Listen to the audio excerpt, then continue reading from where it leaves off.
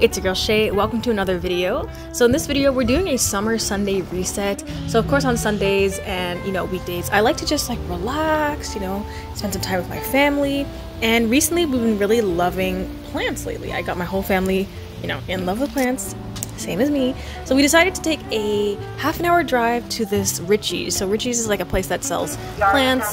This one is all focused on flowers. So we found some beautiful sunflowers, some beautiful caladiums. Look how big these were. I'm using my hands just like for measurement because I really want you to see how big these leaves were. It was amazing. And then because we also had some nice weather, we decided to take the new car for a wash and vacuum. So we were vacuuming all the dirt out, making sure everything looks nice, and sparkling clean. We wiped everything down.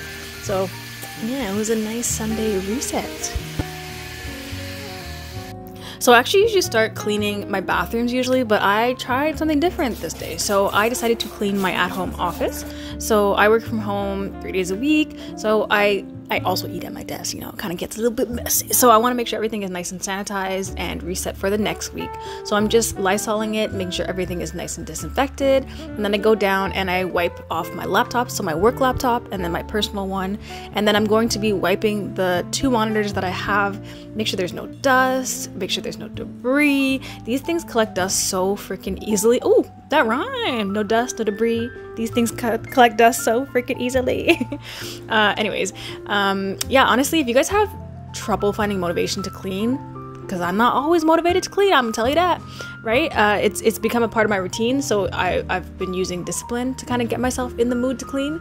But put yourself on some soca. Any island girls listen, subscribe who's from the islands, or you know, put on put on the type of music that you like and get to it. So this plant is called a caladium and it has been giving me so much trouble. Now, I hate to say this because I love plants, but sometimes they just do not vibe with me and they start dying, okay? So I'm sanitizing a pair of scissors and I'm just going to be pruning it. So I've discovered with this plant, it actually revived itself, but um, because these grow from bulbs, they just grow back. It's, it's not a big deal, but for me, I'm like, no, I want this plant to be absolutely healthy. Um, this one's really finicky, so it needs the soil to be moist at all times. It cannot dry out, it cannot be too wet, so it has to be like, it's like a Goldilocks situation. Very annoying. But these are very beautiful plants. Anyways, so after cleaning up my desk, uh, the last thing I'm going to be doing is sweeping and mopping the floor. So I'm using this method. It's a hardwood floor cleaner. Um, you can actually use it without water, but I like to add it to water with some uh, Lysol, and that just adds the like disinfection um, portion to it because in my room I deal with plants a lot and there's soil on the ground, dead leaves, blah, blah, blah. So I just want to make sure everything's nice and sanitized. And I love the smell of this one. It's lemon. So we're gonna be deep cleaning the bathtub. So I bought this little drain cleaner off Amazon. It was like five bucks. I have it linked in my Amazon storefront down below if you guys want one. Um, but I'm really proud because if you watch my video like a few weeks prior, there was a huge clump of hair that just came out and it was my hair, so I can't say nothing. But uh, yeah, it was perfectly clean. So I've been using this Bar Keepers Friend and I cannot stop raving about this product because I love it, okay?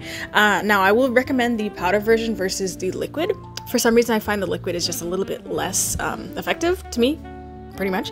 Uh, I like to make like a foam with the powder and the liquid doesn't do that. So I use it on everything like uh, stainless steel, any type of like, um, anything that gets like hard water stains. So like the faucets, stuff like that. So like as you can see, I'm making a little mix here with the Lysol um, just to give it uh, a little bit of scent, you know, because this product doesn't really have a scent. It almost smells like baking soda, which some people might say a scent. Um, so I'm just foaming it up, sudsing it up with my uh, Scrub Mommy. I know it's a jump scare, it, it needs to be replaced, okay?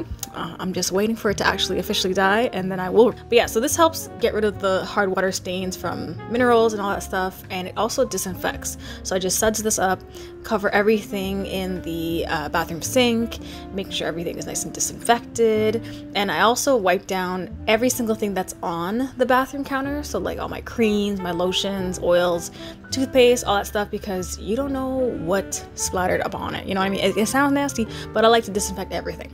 Then this is got to be one of my favorite things to do and it's cleaning the toilet like i know this is giving like cinderella like oh she's on her hand and needs cleaning things but i don't know i just love cleaning the toilet i don't know why um, make sure you guys scrub all the way down below okay? Because this is something like between my girlfriends we would be like oh like if you go to a guy's house and you you look down below on the toilet and you can see if he cleans it or not you know? That's how you can tell if they're they're clean.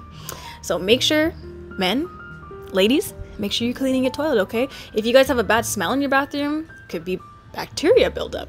So what I like to do is take this Lysol bacteria spray and just spritz off the um, toilet brush because after cleaning that toilet, you know, the bacteria is now on your brush. So I want to make sure that everything is nice and sanitary, wipe everything down, including the handle, and then I'm going to be putting a nice little Kleenex box and then the air freshener. So here's a trick that I have been doing. So I bought a dry duster from the dollar store okay? And I just use that to clean down the shower. This helps you out if you don't want your back broke okay? Um, of course these are LECA clay balls. It was so funny people commented saying they thought this was chocolate and it's hilarious because I thought it was too, but it's for my plants. So I was actually trying to move everything and I accidentally spilled it and it was so annoying because I had to go pick it up, but it's okay. So I am sweeping and mopping the kitchen floor. Now this gets used very often because we always cook. Um, you know, sometimes we like when we're bringing in plants and groceries, like we, we wear our shoes inside. So I have to clean that up. And then I'm going to be disinfecting the kitchen sink. I'm using some Clorox bleach spray. So I like to bleach down the kitchen sink because obviously I prepare we prepare food here we clean our dishes all that stuff. So i want to make sure everything is nice and sanitized. I'm also using this uh, dawn it's like the uh, spray on soap but i like it because it has like a continuous spray. So you just pump it once and it sprays for like a good five ten seconds. And i'm just scrubbing everything down. I'm using a, a, dish brush actually to scrub everything down. And I use some of the liquid Bar Keepers Friends. Now, even though I don't like it, I'm trying to use it up, okay? So just disinfect everything, everything around. I also disinfected the cups that I hold, like the scrubbers, um, like the little dish things, all that. So everything was nice and sparkly clean.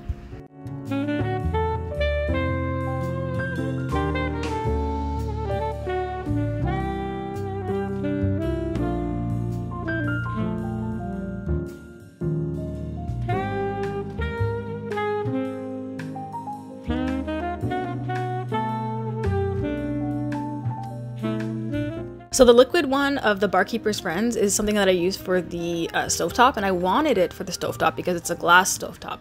Now, it this one doesn't really do too much in like terms of like shininess or taking off old food, um, but it does what it can. So on this beautiful, nice little Sunday, I like to go enjoy my weekend, obviously. And so this weekend we went to the um, experimental farm. So the experimental farm is where um, in Canada we have agriculture, um, like almost I guess experiments. Like they have a bunch of animals that they're testing out. Uh, they test out different crops, stuff like that. So I work for Agriculture Canada, so we get to go in for free. So I went with my coworker, and we got to see all the animals. And then they also had like a little mini petting zoo. So we got to see some bulls, some turkeys, some bunnies, some chickens, all that stuff. Honestly, it was really fun. Actually, one of the perks of working for agriculture is that we get to go in free for like certain museums. So this is actually considered a museum. So we got to see all the animals. It's mainly for kids, but honestly, it was actually really, really fun to go check out everything. Um, but we also have access to this huge tropical greenhouse, and I've put it in videos before. I actually did like a whole farm tour, um, but I'm obviously going to be trying to go again this year because it is beautiful. They have huge plants. Oh my god, because they have the ideal conditions for these tropical plants. They are huge. They're huge, okay? So it was like my dream come true. But it was a nice, fun, relaxing day at the farm. Just spent some time with friends. Um, we actually got to hand feed some goats, and they were so funny because they were actually like fighting over the grass, but yet still in their cage. They had a bunch of grass. It's like they didn't want to eat that. They wanted to eat the grass that was outside. So it's it's like that saying. It's like you want what you can't have. You know what I mean? But they wanted to be hand fed. They were spoiled. Okay, we got some little piggies and all that stuff.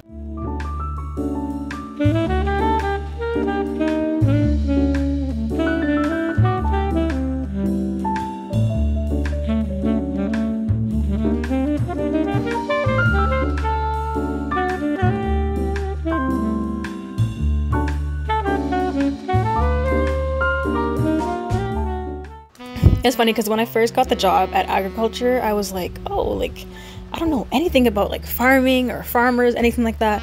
Uh, but I've learned so much in the last year of working with agriculture. We actually deal with providing funding to farmers for, you know, it could be a project, it could be equipment, um, it could be for like livestock illness. So it's actually a really, really important part of our economy. And part of the museum is teaching how they harvest like canola oil, how they harvest mussels, all that stuff. And it's really cool because they break it down for kids to understand. So it's actually a really kid friendly type museum. And they also do some like workshops. So uh, they had Easter on the farm. So they had little chickies, little uh, bunnies, and all that. And it was actually really, really cute. There were so many kids. Uh, honestly, it was great, great activities. So when I plan my weekends, I like to do most of my cleaning. That's like the boring part. I want to get that out of the way. So usually I do that Friday. That takes me through the day. And then I like to do something rewarding after. I'll go plant shopping, or for example, this day we went to the farm. It was a nice, beautiful day. Um, but yeah, I just don't. I don't like to be all like clean, clean, clean, clean, clean. I like to enjoy my clean house, you know. Um, but to do that, I have to stay disciplined. And even though I may not want to clean things, and you may not want to clean anything, I tell myself like I'm gonna feel so much better after I clean this. My mental health is better, you know, my physical health is better, emotional health. I just feel all around good when I look around my room and everything is clean. When things is cluttered, I'm like, oh, this is very disorganized. I like cannot focus. I cannot plan things when my room is in disarray. So this helps me in all areas of my life, and I'm pretty sure it helps you. And I actually had a really, really sweet comment on my last video, and it was somebody, uh, someone new who I've never seen them comment before, saying that it really helped them for me to explain instead of taking all your tasks and being overwhelmed by them, to actually just break them up into small little things, and then complete the large things first because that take the most time and energy, or complete the thing that you have been procrastinating doing, and then do the small little things because if you don't have the energy or you don't get the time to do those small things, you can postpone it because it's small. But the big things are done. So that's just the way that I do things. Um, if I have a big task that's looming over me, I will try to complete it as quickly as I can, get that off my plate, and then the small little task, eh, maybe I don't have the energy, maybe I'll complete it tomorrow, you know. And that actually really helped her, and she got a lot of cleaning done, and I'm I'm so happy, honestly. This is why I make the videos.